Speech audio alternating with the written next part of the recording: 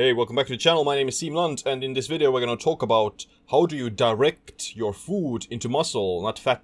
Basically, how can you make sure that the food you do eat, the calories you consume, how can they be used more for muscle growth and leanness and fitness instead of fat storage. So make sure to click like and subscribe as well for future videos about optimizing your health and performance. Do it! So the idea for this video came from my own uh, Instagram post um, about uh, nutrient partitioning of uh, how do you direct your food into basically muscle and uh, fitness instead of uh, you know gaining fat. In the beginning, there's a story.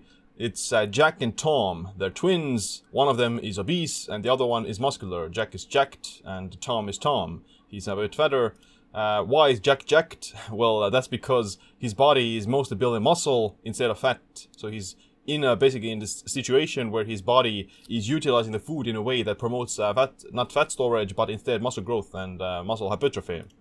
This is pheno this phenomenon is basically called a nutrient partitioning. How does your body use the fuel that it has? Does it going to be using it for uh, fat storage, building muscle, or uh, you know burning it off for energy? Like uh, those different kinds of scenarios are all possible and your own lifestyle and the eating habits they're going to de determine what is going to happen to the food that you eat uh, because like our own bodies are all very different. Some are have a very high metabolic rate. Some people have, uh, let's say, more muscle mass. Some people have less uh, muscle mass, more fat and it all is a reflection of the signals that your body is basically receiving from the environment and what how does it uh, basically partition those nutrients that you're receiving. The biggest lever that is going to determine or the biggest signal for uh, building muscle is going to be uh, resistance training, no doubt about it. Uh, lifting weights, calisthenics, any kind of resistance training, that is the biggest that, or the loudest signal as well that signals the body that hey, you need to build muscle because it's a adaptation requirement, you need to have this strength, you need to have this muscle tissue because you're in an environment where you are lifting things, and uh, in order to survive,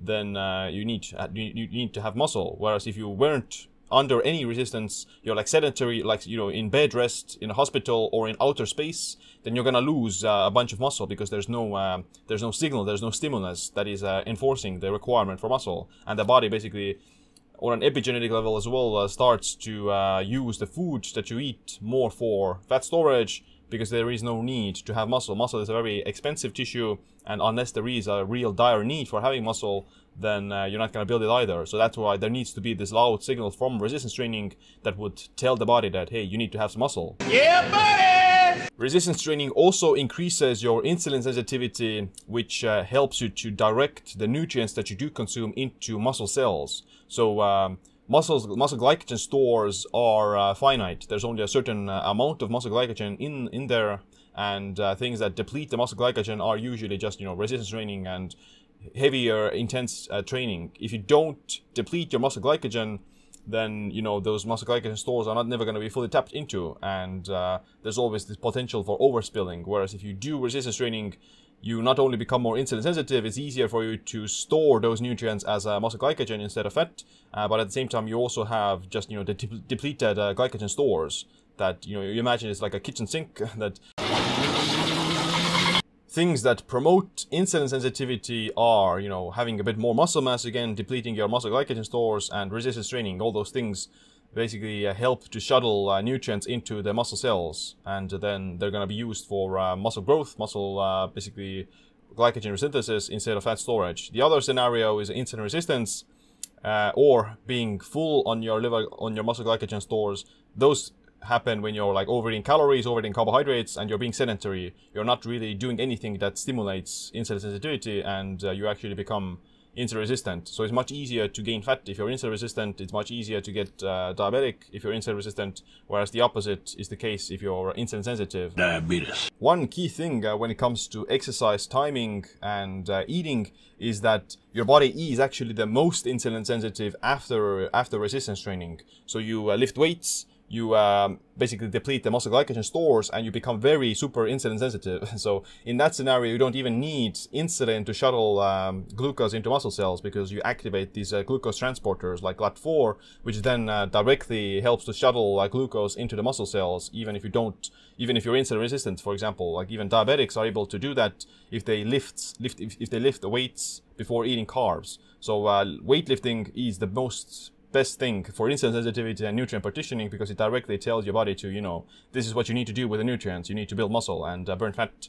And uh, that's why generally I am a big proponent of, uh, let's say, if I do eat carbs, then I would much rather eat those carbs in a post-workout uh, scenario because uh, then those carbs would be used only for uh, or primarily for uh, glycogen resynthesis and uh, recovery instead of like um, fat storage. Because you're more likely to store the carbs as fat if you uh, eat them while you're being sedentary. Like you know for example in the morning eating carbs you know contrary to popular belief um, you would be more more prone to store the carbs as fat in that scenario because you are like sedentary you haven't moved around a lot you're in ketosis actually in the morning and you're burning fat, so you don't really need to have carbs in the morning. Uh, you would much rather have them uh, post workout uh, when it comes to like optimal nutrient partitioning. Different macronutrients also affect uh, nutrient partitioning. You know, obviously, uh, protein is uh, generally the most you know anabolic macronutrients. It's going to help with the most muscle growth as well as fat burning because protein uh, has a high thermic effect to food. It consumes a lot of calories to digest it, and it also stimulates the muscle protein synthesis directly. So if you do eat um, protein, then uh, generally you will have a slightly higher lean body mass, and the studies also support that. That people on high protein diets, you know, generally always lose more weight, and they generally have always higher bone bone density and higher muscle mass as a result of that. Obviously, overall calorie intake is also very important because if you, even if you're eating a clean diet, but you're overeating calories, then it doesn't matter how optimized your routine is or how uh, nuanced or how strategic it is. If you're still overeating calories, then you're still going to gain fat. You know, you may gain some muscle, but you also still uh, gain some fat. So that's why calorie intake matters. You know, you shouldn't overeat calories and uh, any like excess calories beyond a certain point are going to eventually end up as body fat. So uh, if you're bulking, so to say, you're doing dirty bulk with uh, thousand, a thousand calories of surplus, 1500 calories, 2000 calories surplus, then uh, the majority of those calories are going to be still as stored as fat, and you know, only a, a small amount of it is going to end up as muscle tissue. So there's only maybe like 500 calories at max that you need to be in a surplus to build muscle. You don't need a ton of calories to build muscle. Uh, you don't. You just need to apply the mechanical tension from training, you need to progressively overload, get stronger over time, and maintain consistent with your protein intake. So yeah, like the myth that you need need to be doing like dirty bulking is uh, wrong because you're gonna end up gaining a bunch more fat than you would with muscle. And uh, yeah, like the leaner the bulk, the slower the bulk, then the more permanent and the less body fat you're gonna gain as a result of that as well. It's a trap! So at the end of the day, you can choose. Like you can choose what kind of a body you have. You can choose um, how the food you eat is going to affect your body composition. Is it going to be helping you to build muscle, or is it going to help you to make become uh, obese or burn fat or whatever it is? Different kinds of methods do that. Different kinds of signals. Generally, the signals that help with uh, lean muscle mass and uh, less body fat are, you know, lifting weights, exercising regularly, being insulin sensitive, eating a slightly higher protein intake, and being uh, moderate with your calories. The signals that promote fat storage instead of uh, muscle growth are being sedentary, not moving around, not exercising, um, eating excess calories, surplus of calories, and being low in protein, and thus you become insulin resistant, which then uh, prevents your body from utilizing the nutrients in this uh, better way. One pro tip I can also give you is that um, I think that you should never want to become uh, too fat, basically, because once there's like a certain threshold after which, like, uh, if you get too high in your body fat percentage, then uh, after that, your all your biomarkers are going to go bad. Your uh, insulin sensitivity goes down, your blood sugar levels go up, your uh, blood pressure goes up, and you develop this uh, visceral fat around the organs, etc. After like this certain threshold and so that's why you never want to go beyond that threshold. So for men, I think that maybe is around like 16% body fat, and uh, for women maybe 22%, something like that. And after that, beyond that uh, threshold, your biomarkers are going to be much worse and your insulin sensitivity is much lower. So if you cross that threshold,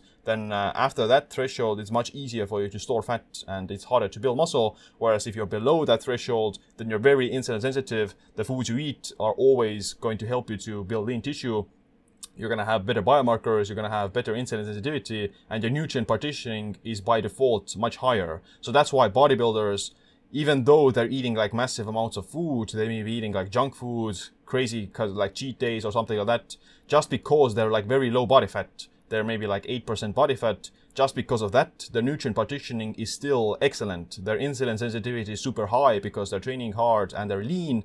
Uh, whereas someone who is, you know, uh, maybe uh, above let's say 20% body fat and they eat the same food, then their body is going to react much worse to that same food because they are insulin resistant, they don't have that insulin sensitivity, and their nutrient partitioning is so poor that uh, the food they eat is just going to end up as body fat. So that's why, yeah, you never want to get too uh, high in your body fat percentage because the lower your body fat percentage is, then generally your uh, nutrient partitioning is also better. But that's it for this video. I hope you got some valuable information from this.